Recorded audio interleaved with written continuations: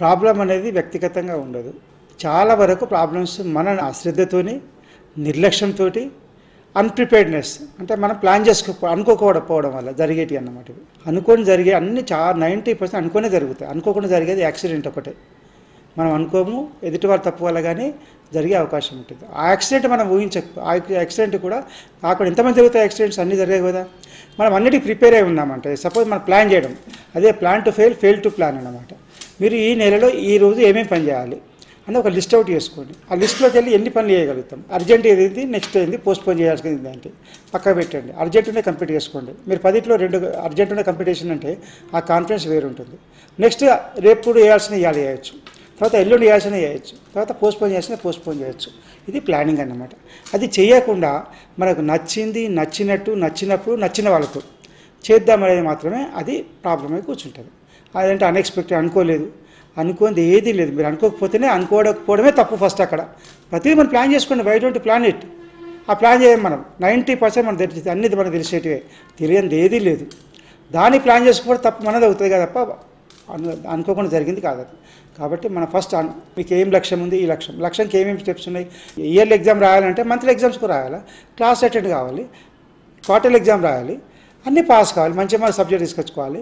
కానీ నేను లేకుండా లాస్ట్కి ఎగ్జామ్ ఒకటే నాకు ఒకటే నాకు సర్టిఫికేట్ వస్తుందా చివరికి యాన్యువల్ అనుకుంటే ఎట్లవుతుంది ఇది కూడా అదే మాదిరిగా అనమాట మీరు సాధించాల్సిన లక్ష్యం ఏంటి? దానికి ఏమేమి స్టెప్స్ తీసుకోవాలి? ఏమేమి చేయాల్సిన ఏమున్నాయి దాన్ని ఎప్పుడు చేయగలుగుతాము ఎట్లా చేయాలి అనేది ప్లాన్ చేస్తే అప్పుడు మీకు ఎలాంటి ప్రాబ్లం ఉండదు.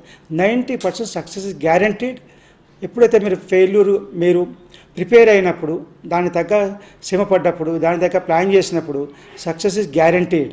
ఆ టెన్ పర్సెంట్ అయితే యాక్సిడెంట్ ఉంటుంది చూడండి. ఇప్పుడు ఎగ్జామినేషన్ ఆడికి వెళ్తుంటాం మధ్యలో ట్రాఫిక్ జామ్ అవుతుంది అయితే యాక్సిడెంట్ అవుతుంది వెళ్ళాడు ఎగ్జామ్ రాయలేము. అది యాక్సిడెంట్. అంతేగాని నైంటీ పర్సెంట్ మీరు అనుకున్నవి అనుకున్నట్టు చేసే అవకాశం ఉంది. కాబట్టి అనుకున్న అనుకున్నట్టు సా- చేయండి. ఫలితం మాత్రం మీ చేతిలో లేదు కాబట్టి దాన్ని వదిలేసేయండి. ప్రయత్నంలో హండ్రెడ్ పర్సెంట్ ఉండాలి. మనం అనుకున్న ఫలితం రాకపోయినా పర్వాలేదు అని ఉండాలి. ఫలితం ప్రయత్నం చేసేంత వరకు చివరి స్టెప్ వరకు నైంటీ నైన్ హండ్రెడ్ పర్సెంట్ వరకు కూడా పర్ఫెక్ట్ ఉండాలి. ప్లానింగ్ పర్ఫార్మెన్స్ పర్ఫెక్షన్ ప్రజెంటేషన్ ఈ మూడు ప్ర- పర్ఫెక్ట్ ఉన్న తర్వాత రిజల్ట్ అనేది ఎలా అయినా పర్వాలేదు అన్నట్టు ఉండాలి కానీ రిజల్ట్ నెగిటివ్ వస్తాయని కాదు పాజిటివ్ వస్తాయని కాదు. బీ న్యూట్రల్ ఆ న్యూట్రల్ ఎందుకోసం అంటే ప్రయత్నం మన చేతిలో ఉంది కానీ ఫలితం మన చేతిలో లేదు కాబట్టి న్యూట్రల్గా ఉండండి. నెగిటివ్ వచ్చిన తీసుకోవచ్చు పాజిటివ్ వచ్చిన తీసుకోవచ్చు. నాకు కంపల్సరీ నెగిటివ్ రావడం రా వస్తాయని కాదు కంపల్సరీ పాజిటివ్ వస్తాయని కాదు. కాబట్టి మీరు మీకంటే ప్రపంచ ప్రపంచాన్ని ఎదుర్కోవాల్సి వచ్చినప్పుడు మనకంటే తెలివి వాళ్ళు చాలామంది ఉంటారు మనకంటే తెలివి తక్కువ వాళ్ళు చాలామంది ఉంటారు. మనలాంటి వాళ్ళు మనం మాత్రమే ఉంటాము. కాబట్టి అలాంటివి కంపేర్ చేసుకుంటూ అలాంటి ప్లాన్ చేస్తూ ముందుకెళ్తే జీవితంలో ఎలాంటి సమస్య రాదు. ఒకవేళ వచ్చిందంటే మీరు అన్ఎక్స్పెక్టెడ్ అనేది కాదు. అన్ఎక్స్పెక్టెడ్ అంటే మీరు కేర్లెస్నెస్ అన్నమాట. ఒక సమస్య వచ్చిందంటే నెగ్లిజెన్స్ అన్నట్టు. ఆ నెగ్లిజెన్స్ కేర్లెస్నెస్ దూరం పెట్టి ప్లాన్ చేసిన రోజున నైంటీ పర్సెంట్ ప్రాబ్లమ్స్ సాల్వ్ అవుతాయి.